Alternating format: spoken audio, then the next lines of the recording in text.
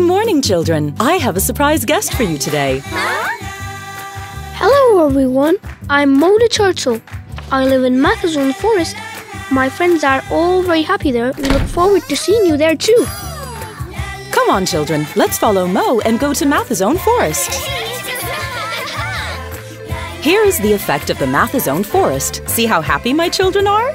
No matter what level of perception they have, they all can safely enter the world of mathematics. Our goal for our children, our future generation, is for them to love themselves and all living beings and to become individuals who try their very best to solve problems in life. Mathazone Forest provides a happy education environment for all children.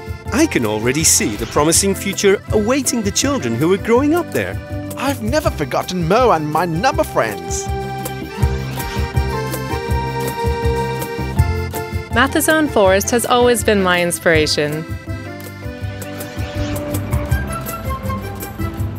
We used to create game streets in Mathazone Forest, and now I'm building real houses.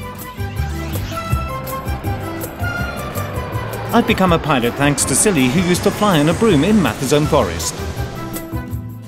Whatever job they have, wherever they work, they'll be individuals who make use of their thinking fingers in all situations in their lives. That is maths. While they're experiencing concepts in real life, they also learn the language of maths. I wish I could have met Mathazone when I was a child, but mathematical concepts are no longer a nightmare for me. I can use them effectively not only when I'm teaching, but also in my real life.